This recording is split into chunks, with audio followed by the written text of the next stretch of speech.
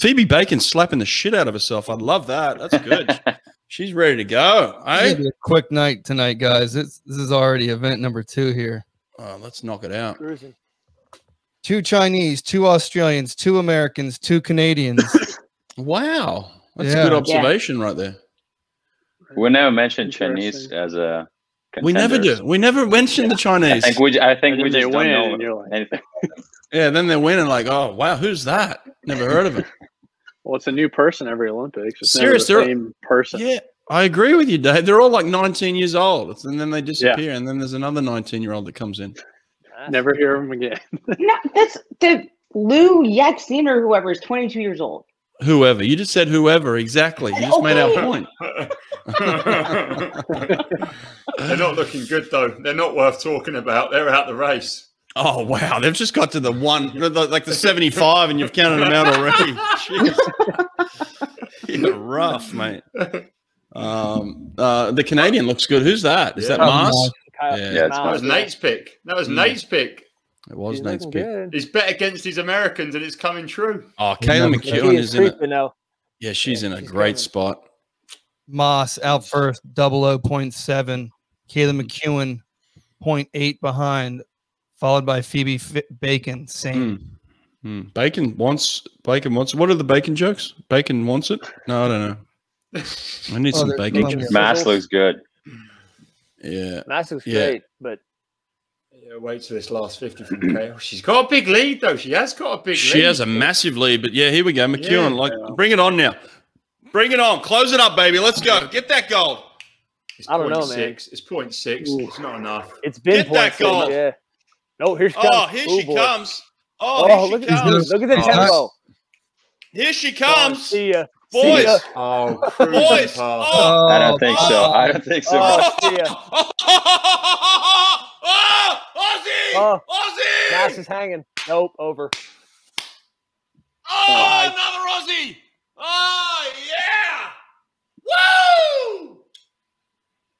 I know I've got Still Brazil on. I know I've got Brazil, but should, Australia. The Americans pushed out of the medal. Yep. I think so. Yeah. Oh, wow. Oh, Kaylee McKeown with a. yeah, Seebohm's coming back for the third.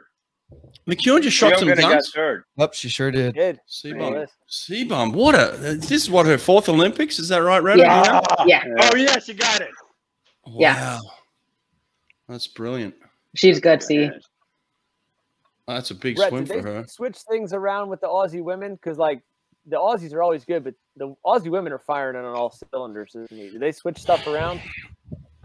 Mate, I have no idea. I've been back there in 15 years, but uh, they're doing something right. I'll tell you what, they're on fire right now.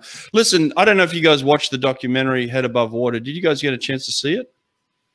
Yeah, yeah.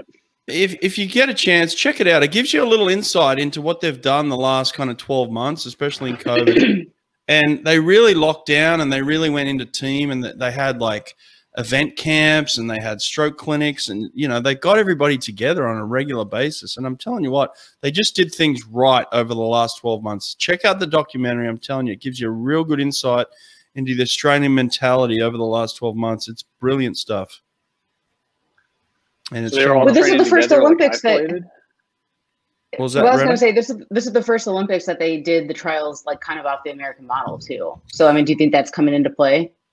For sure, yeah. I actually um, they invited me down. I think what four years ago to give a give a talk to the all the Australian coaches on this very um, topic of uh, double taping, dou- double tape uh, periodization in terms of like you know the four weeks out type uh, methodology, and um, Mhm. that was the first time that I actually thought about doing it, and uh, they've made the change, and it's paying dividends. Look, I, what what Australia lacked is because it's winter in Australia right now. You know, it's it's summer in America, but it's winter in Australia. It's freezing cold. There's no competitions. It's everything short course. So the mentality shifts, and then all of a sudden you got to go to the Olympics and try and perform at the highest level. There's no racing. There's no long course swimming. So what they've done is they've figured it out. They've said, okay, we're going to go long course racing, long course training, all the way up to the Olympics. Five weeks out, four weeks out, and boom, we're going to race. And um, they're coming But in. then, how do you explain the men though? What do you mean the men? The men have done well. Yeah, and then they're doing well. Men are doing cool. I well think Australia doing better than they've done in the past 16 years. comparatively. Okay. Yes. I guess I'm since thinking Sydney. of Winnington. Okay, Winnington. What happened? I mean, yeah, he, he hasn't performed well. That's one guy, but um, I mean, Kyle Kyle Chalmers swam a lot faster. Matt Temple swam swam faster here tonight. I mean, they, they've had they've had their spots, but um, look, the, the the women are just outshining them. They're obviously Yeah, swimming yeah, they fantastic. So Yeah.